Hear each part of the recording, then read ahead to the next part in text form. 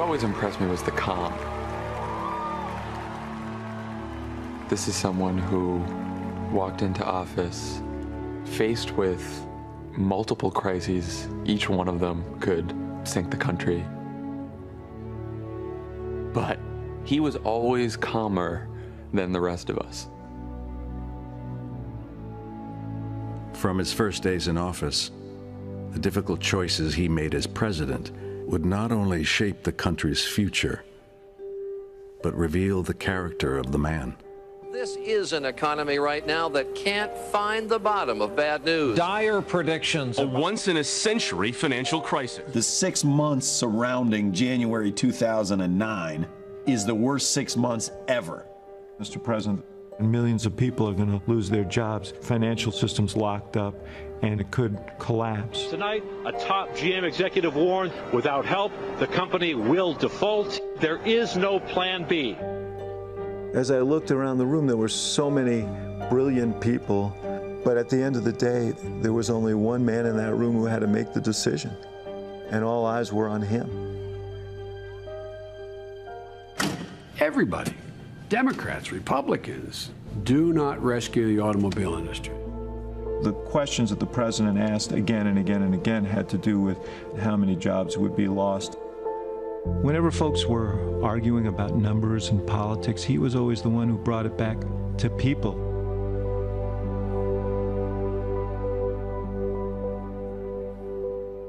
Every night, he's up until 2 o'clock in the morning with his big stack of briefing books.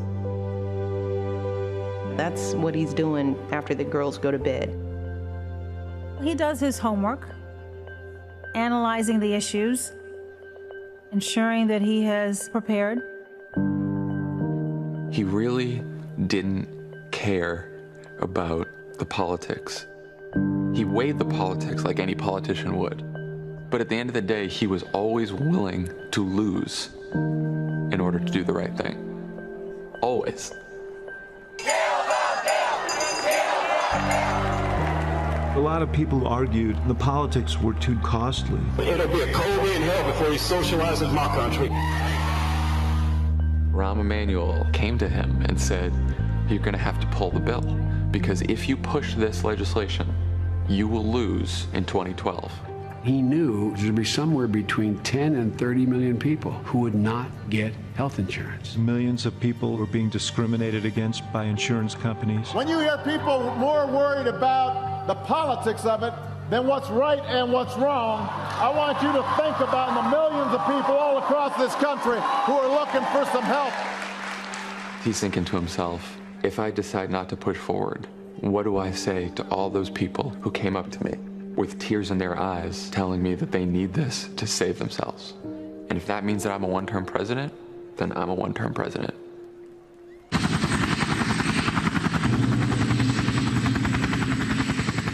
Nothing comes to the desk of the President of the United States unless it's almost impossible. And he has to figure it out. The most critical thing was, was he there? We never knew that for sure. The president turns to every principal in the room. What do you recommend I do? And they say, well, 49% chance he's there, 51. It's a close call, Mr. President. He said, all right, thank you. He said, I'll give you my decision in the morning. It dawned on me, he's all alone. This is his decision. If he was wrong, his presidency was done. Over. There were times when he could not find a way.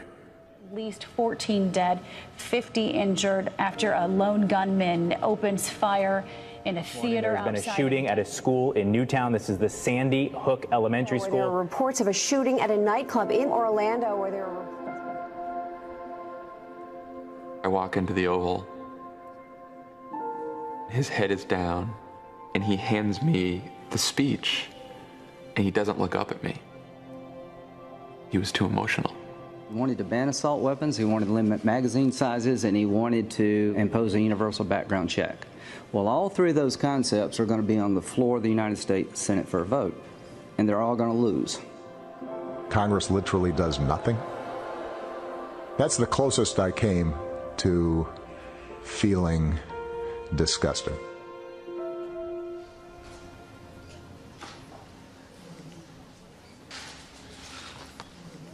Every time I think about those kids, it gets me mad.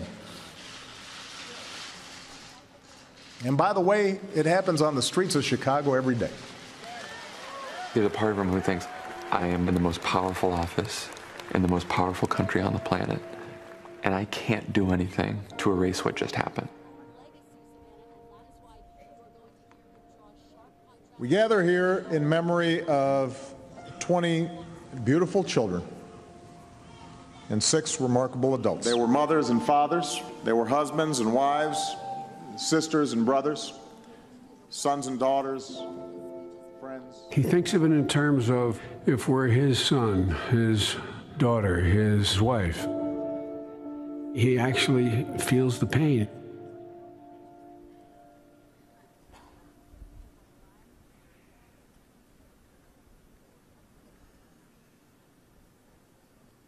Amazing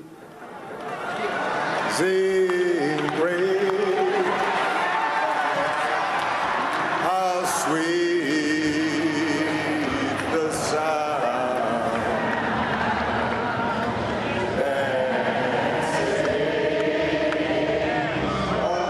When we were lost, he asked us to believe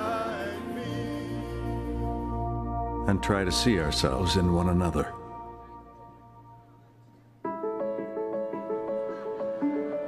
And through crisis and challenge, he kept fighting to move us forward. There's a temperament associated with being president that he uniquely has. Eyes always fixed on long term successes. Americans don't have to worry about insurance companies discriminating against them if they have a pre existing condition. Thanks to President Obama, General Motors is once again number one in sales worldwide. President Obama signed an executive order aimed at eliminating the pay gap between men and women in the federal government. America deserves equal pay for equal work. Judge Sotomayor, are you prepared to take the oath? I am. Please raise your right hand. We'll offer you the chance to come out of the shadows so that you can finally have the dignity of knowing you belong. Mr. Obama is the first sitting U.S. president to visit Cuba in nearly 90 years. Osama bin Laden has been brought to justice. The United States has conducted an operation that killed Osama bin Laden. He's ignited the most robust international agreement on climate change. The Paris Agreement represents the best chance to save the one planet that we've got. Obama announced a historic breakthrough with Iran today. A comprehensive long-term deal that will prevent it from obtaining a nuclear weapon. He has this deep conviction that at big moments when we need to, we can still come together as a country, and that out of a long political darkness, a brighter day will come. From the Supreme Court, we have read from the bench there is a right to marriage equality. I repeat, there is a right to marriage equality. Read just Today, we can say that we've made our union a little more perfect. That love is love. The Dow closed today at 10,000 points higher. That's the longest stretch of private sector job growth in our history. The First Lady said it best being president has not changed who he is, it has revealed who he is. His core values, his principles, his temperament.